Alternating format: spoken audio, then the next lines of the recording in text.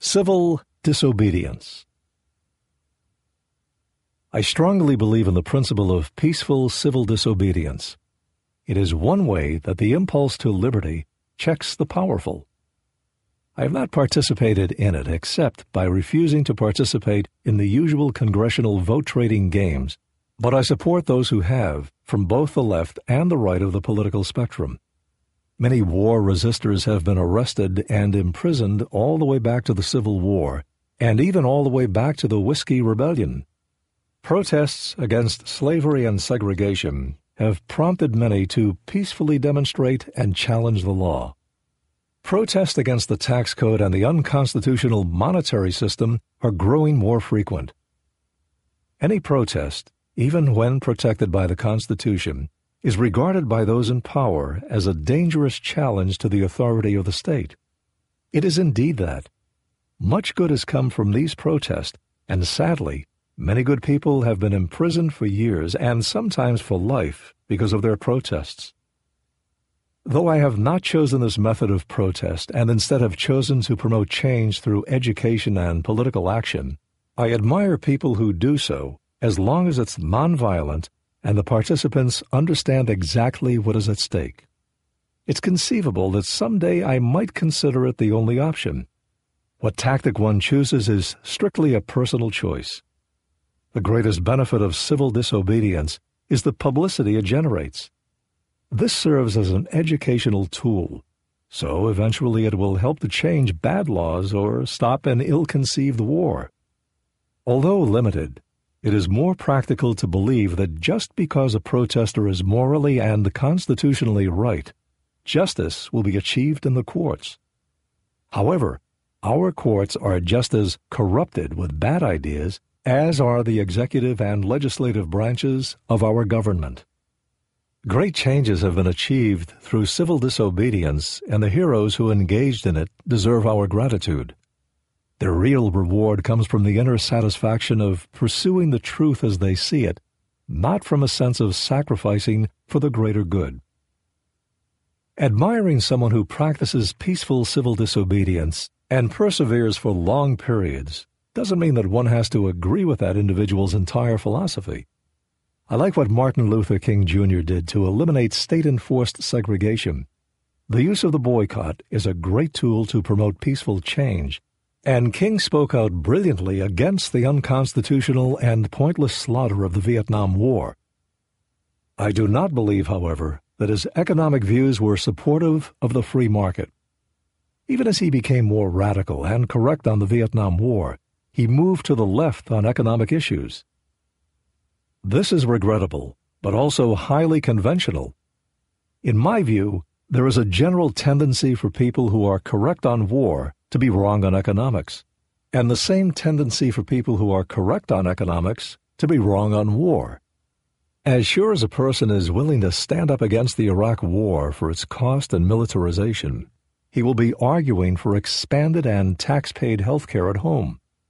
And sure as a person denounces big government at home, he will argue for dramatic expansions of military power. If we had a consistent philosophy of peace and freedom, we would oppose both socialism and war and be willing to fight against all forms of statism, whether domestic or international. Sometimes the domestic and international intersect in ways that remind us of this truth. This is when disobedience is especially necessary. There are many unsung heroes who have stood up against the involuntary servitude of the draft, especially when fighting in undeclared and unconstitutional wars. One of the best known to suffer prosecution for his beliefs and resistance was Muhammad Ali. Though he had joined the Nation of Islam and argued he was a conscientious objector, he was still arrested for refusing to serve and go to Vietnam in 1966. His summation of his beliefs as to why he refused became classic. Simply, he said, I ain't got no quarrel with the Viet Cong.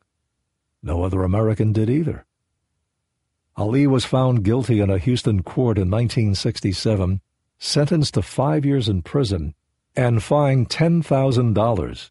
The jury took 21 minutes. He lost his title and was banned from boxing for seven years. After five years, the Supreme Court unanimously ruled in favor of Ali. He never served a day in prison, but nevertheless paid a high price for his convictions. Sports writer Harold Conrad said after the conviction and the sentencing, he threw this life away on one toss of the dice for something he believed in. Not many folks do that. True, not many folks do that, but I disagree that he threw his life away. That fight against the state he eventually won, though at a cost. And history may show that it was the best of all his fights and the one that should have given him the greatest sense of dignity and pride. At the time, Ali's resistance to war and the military draft was seen by a majority of Americans to be unpatriotic. But they did not understand that patriotism is the act of standing up to the government when the government is wrong and at great risk stand firmly on principles that protect the freedoms of all people. Those who resist the state nonviolently, based on their own principles, deserve our support. The opposite approach to protest is the use of violence. Violence is a terrible agent of social change. Individuals advocating or participating in violence on occasion will associate with certain groups and falsely give the impression that they are acting as a bona fide member of the group. The media rarely have any desire to sort out the facts, especially if the group that is being wrongly blamed represents anti-big government views. FBI agents will infiltrate certain groups they deem dangerous. Government itself, spying on any private group, is dangerous to our Fourth Amendment rights, which is something people tend to forget. The argument usually is that it's necessary to keep the American people safe.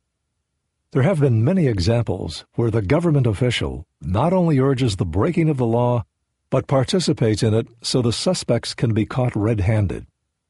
It was this abuse of the law that led to the tragedy of Ruby Ridge, where the government killed a man's wife in a pointless hunt in 1992, and the entrapment of various militia groups. It has been used in drug investigations as well. The use of government agents to encourage the breaking of laws in a sting operation represents government violence that can surpass the violence of the suspected criminals. I personally don't know of any organized group that is calling for the violent overthrow of our government. There are many individuals demanding a more just system that doesn't reward the well-connected with bailouts, nor punish those who only ask to be totally self-reliant and not be forced to be a ward or victim of the state. The vast majority of Americans detest the mere thought of violence as a legitimate tool for bringing about political changes. Nearly everyone still believes that changes are available through the political process. Many who feel helpless working in the very messy political system still see the benefits of working to change attitudes through education and understanding. Others endorse the principle of peaceful civil disobedience as a means for bringing about political changes. This is a legitimate tool that was practiced by many in the civil rights movement in order to eliminate arcane laws that forced segregation. Martin Luther King Jr. understood its merit and the obvious risk of imprisonment and becoming the victim of government violence. Civil disobedience is a form of personal nullification of unfair and unconstitutional laws. Even the current left-wing pundits, who condemn all nullification arguments by strict constitutionalists, would hardly fail to see this comparison. Civil disobedience is a process whereby the weak and defenseless can resist the violence perpetuated by the state. The great danger is that when government gets too powerful and abusive, a greater number of citizens give up on education, politics, and peaceful resistance to bring about change and drift toward violent resistance to the state.